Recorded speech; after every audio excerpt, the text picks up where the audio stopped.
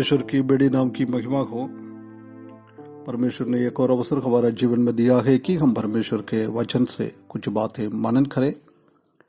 सबको प्रभु यीशु मसीह के मीठे और पवित्र नाम से जय मसीह की। परमेश्वर सबको आशीष करे, अनुग्रह करे। पिछले दिनों में हम इस सुबह के प्रभात मनन में उल्पत्ति की किताब इक्कीस अध्याय से कुछ बातें हम मनन करके आ रहा है।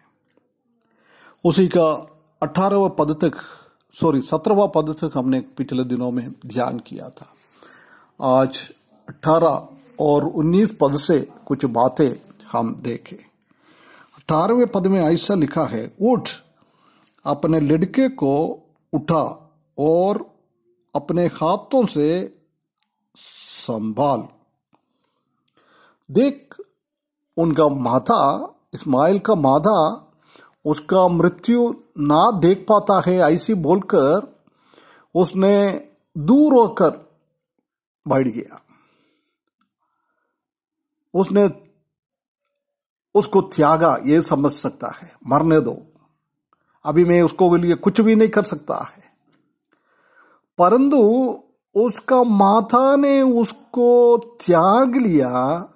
उसके बाद भी स्वर्गीय परमेश्वर, स्वर्गीय पिताजी इस्माइल के बारे में बहुत चिंता, चिंतित है।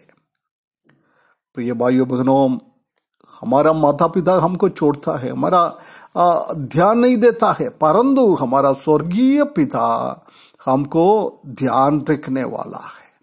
उसको माता जी को इंस्ट्रक्शन दे रहा है, तुम उठ, बच्चों को भी जाके उठाओ, उसको संभालो अभी तुम उसको संभालने का टाइम है। तुम ऐसी बोलकर उनसे भागने का नहीं।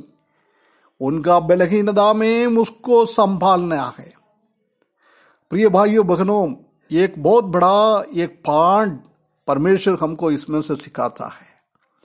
हम भी जानता है, हम भी क्या करता है, हमारे कुछ बच्चे लोग नालायक हो जाता है।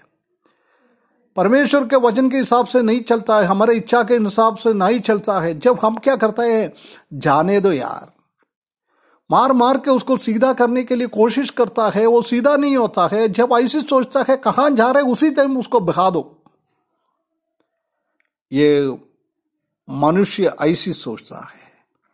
परंतु परमेश्वर ये आज्ञा देता है, तुम ऐसा ना करो, तुम्हारा बलहीन बच्चे को तुम उठाओ, तुम उसको संभालो, उनसे बातें करो, हैं, उनसे जाके बातचीत कर, उसी को एक तंदुरुस्त दे, उसी को सांत्वना दे। ये हमको करना है, प्रिय भाइयों, बहनों। हम आने वाले दिनों में हमारा बच्चों को, कमज़ोर बच्चों को हम आगे बढ़ाने के लिए ऐसी हाजरा को परमेश्वर ने आज्ञा दिया ऐसी काम हमको करना है। उसके बाद क्या बोल रहा है? क्यों तुमको संभालना है? तुम क्यों उसको उठाना है? क्योंकि मैं उसके द्वारा एक बड़ी जादी बनाऊँगा। उसके द्वारा एक बड़ी जादी बनाऊँगा। अब्राहम को उसने बाहर करने के लिए बोला जब बोला था, तुम चिंता मत करो, तुम्हारा बेटे के द्वारा मैं एक जादी बनाऊँगा। परंतु माधा से बात करता है, जब क्या बोल रहा है? एक बड़ी जादी बनाऊँगा। परमेश्वर ने वो आज्ञा वायदा को पूरा किया है। आज हम जानते हैं कि अरबी लोग, अरबी राष्ट्र, ये सब इस्माइल का बच्चा लोग है। परमेश्वर ने उनको कितना बढ़ा दिया, कितना आशीष दिया है। हाजरा को दिया हुआ प्रतिज्ञा के अनुसार। प्रिय भाइयों, बहनों, परमेश्वर हमसे वायदा करता है, वो सब पूरा करने वाला परमेश्वर है, पूरा करने वाला परमेश्वर है। उसके ऊपर भरोसा रख।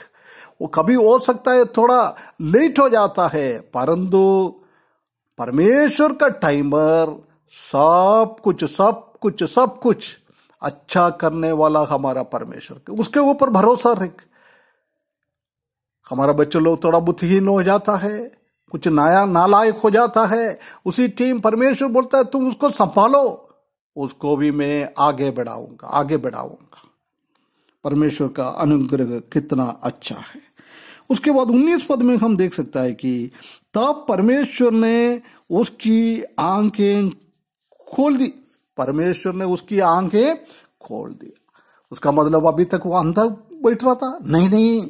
उसी का बाहर की आँख तो खुलाई था, परंतु उसका आंतरिक व्यक्ति का आँख बंद था। हम जानता है कि हमारे ऊपर की एक मनुष्य तो है, उसी के अंदर भी एक मनुष्य है। वो आत्मा है, हमारा आत्मा। बहुत बार हम क्या करता है, बाहर की आँखें खुले रहता है, परंतु अंदर का व्यक्तित्व का वो आंग हमेशा हम बंद करता रहता है। इसलिए परमेश्वर का अनुग्रह को हम देख नहीं पाता है।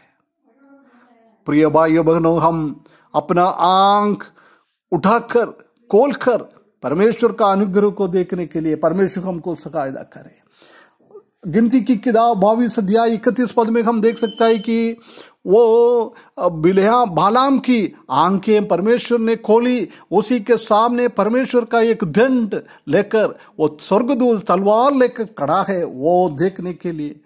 उसको आँख देख नहीं पाता था, परंतु परमेश्वर ने उसका आँख खोला, उसने देखा है। उसके बाद दूसरा राजा छह अध्याय सत्रहवें पद में हम देख सकता है कि एलिशा ने उनके चेले के लिए प्रार्थना किया। जब उसने, उसके आँख खोला, आँख खोलने के टाइम हम देख सकता है कि एलिशी का चारों ओर अग्निमय रथ से, स्वर्गदूतों से उसको बचाने के लिए स्वर्गदूत उनके घर के चारों ओर थे।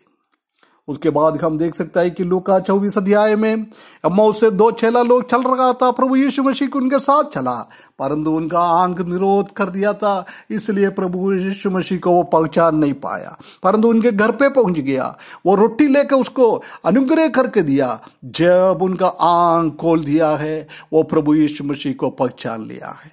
प्रभु का महिमा हमको देखना है, हमारा आंग, आंतरिक आँख आत्मा का आँख खोलना बहुत ज़रूरी है, बहुत ज़रूरी है। जब हम आंगदर की आँख खोलता है, उसी टाइम परमेश्वर का अनुग्रह हम देख सकता है।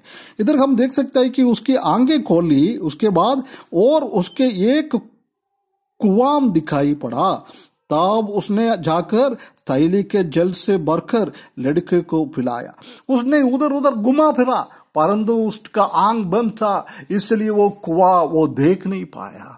परंतु जब परमेश्वर ने उनके अंदर की आँखें खोला, उसी का परमेश्वर का अनुग्रह उसने देखा है। वो कुआ में बहुत सारा पानी देखा है। परंतु हम जानता है कि अब्राहम ने उनको बाहर कर दिया था, जब एक थैली में उसका थोड़ा सा पानी लेके भेजा है।